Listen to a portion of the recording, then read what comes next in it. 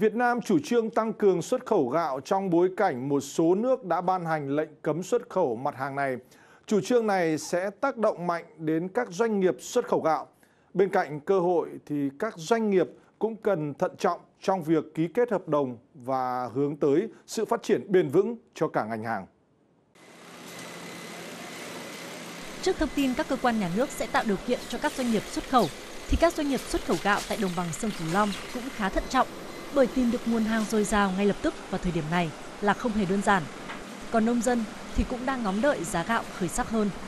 Phải tính toán suy nghĩ là mình phải bán sao cho nó vừa phải thôi, có hàng thì mình hãy bán, còn nếu như mình đã đi ký nhiều quá mà mình không có chân hàng thì đây là một cái sự thật là rủi ro cho doanh nghiệp rất là nhiều. Nhưng mà khi chúng ta à, bán được đồng hành với người nông dân trồng lúa rồi thì à, chúng ta sẽ có được cái lượng lúa đầu vào nhất định, ổn định thì chúng ta sẽ có cái đầu ra ổn định. Giá hiện nay thì nó 7 ngàn thì nó cũng trên lệch là khoảng 700 thì ờ, có khoảng từng hơn từng thì nó, giá nó tăng lên vượt trội lên khoảng 700 đồng ký mới được cái vụ này là thấy hơi tươi tươi tươi chút đó Mặc dù giá gạo đang nhích lên từng ngày, nhưng thực chất nông dân và đặc biệt là doanh nghiệp chưa được hưởng lợi ngay bởi hiện vẫn đang giao hàng cho các đơn hàng cũ. Phải đến cuối tháng 8, đầu tháng 9, các doanh nghiệp mới bắt tay vào các đơn hàng mới có giá cao.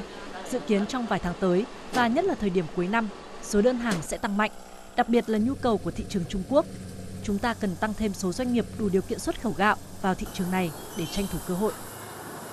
Bộ Nông nghiệp Phát triển thôn cũng cục bảo vệ thực vật là cơ quan đầu mối để triển khai cái nghị định kiểm dịch ờ, đối với gạo xuất khẩu từ Việt Nam sang Trung Quốc để tiếp tục